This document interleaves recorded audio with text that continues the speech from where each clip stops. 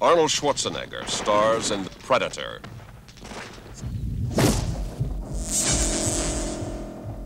Or there's a great twist in this film because it starts out like a like a war movie type of thing, you know, where you go into the jungle and you try to uh, wipe out the enemy and uh, pull out your the hostages and so on, and then all of a sudden, uh, after the first third of the movie, comes this great surprise, which is this predator that is hunting us. There's something out there waiting for us, and it ain't no man. We're all gonna die. Man's losing. He's losing his cool. There's nothing but a couple of guys running around out there, and we gotta take him down. You still don't understand it, Dillon, do you? Whatever it is out there, he killed Hopper.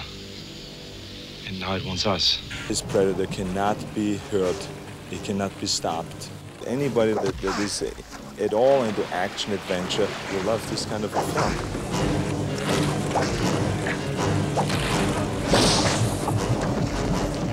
Come on, kill me! I'm here!